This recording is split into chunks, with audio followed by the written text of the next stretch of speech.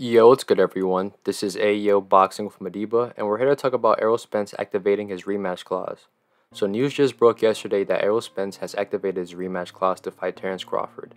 And this was expected to happen. The loser of the fight had the ability to activate the rematch within 30 days, and true to his character and the words he said in the post-fight interview, Spence activated the rematch clause.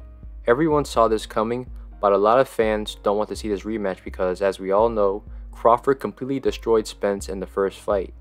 Most people thought it was going to be a 50 50 competitive fight, and many people chose Spence to win, but none of that happened. Due to Crawford's domination, most fans think that a rematch is pointless, and at first, I agree with this sentiment. But after the initial shock of the first fight and having some time to think about it, I support the rematch for two reasons. The first reason is that the rematch will take place at 154. Fighting at 154 was part of the rematch clause, and it was a good move on their part.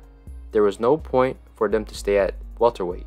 The first fight was for undisputed, which is the biggest thing a champion can accomplish in a weight class. The fight was going to determine who was the best welterweight since Floyd and Crawford took the title. Furthermore, Spence and Crawford were the biggest names and the biggest legacy fights at welterweight, so there was no reason for them to stay there. But it was also the natural time for both guys to move up. Spence has fought at welterweight his entire career, and he's always been a big welterweight. He's had issues making the weight on several occasions and has stated in several interviews that he wants to move up to 154 in the near future. A good amount of people suspected that Spence was weight drained when he fought Crawford, which is why he performed the way he did. Theoretically, Spence should be a healthier and better fighter at 154 and I agree with that sentiment. Crawford, on the other hand, started his career at lightweight and moved up to welterweight, going up three weight classes. He was always seen as a smaller guy, but in reality, he grew into the weight class very well. He looked the same size and even a little bit bigger than Spence on fight night. And Crawford said himself that he had some difficulties making the weight for that fight, so we can also expect for Crawford to be a healthier and better fighter at 154. Furthermore, 154 will provide the fighters more opportunities to enhance their legacies. Both guys can go for another undisputed run at 154, but the rematch would be more beneficial for Crawford, mainly because it will get Crawford acclimated to a new weight class, but also serve as a springboard if he wants to go up to 168. So instead of going up three weight classes to fight Charlo or Canelo, it will only be two at that point. The second reason why I support this rematch is because the fans wanted it. Boxing fans are fickle and tend to have short memories, but I remember how excited the fans were when the fight was announced, especially when news broke that there was a rematch clause. To be fair, most people assumed that the fight was going to be a close and competitive fight at the time, so a rematch clause was justifiable to most fans back then.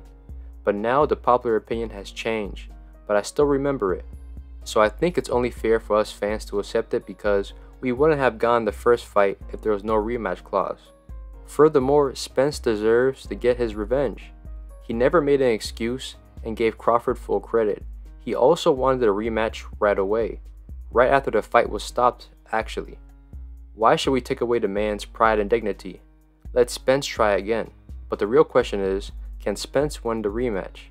In my opinion, I think Spence will make the adjustments that fight humbled Derrick James, and he has acknowledged that Crawford won and he was a better man that fight.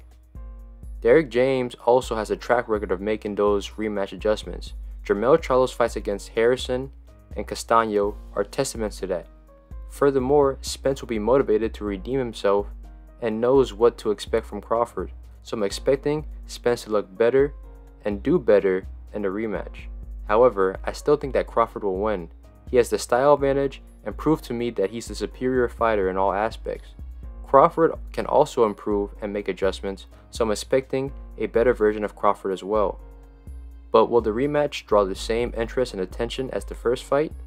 I don't think so, but with Crawford's press run that he's going on, and people waiting to see what Spence has to say after the loss, I low-key feel that the rematch could do around the same numbers as the first fight.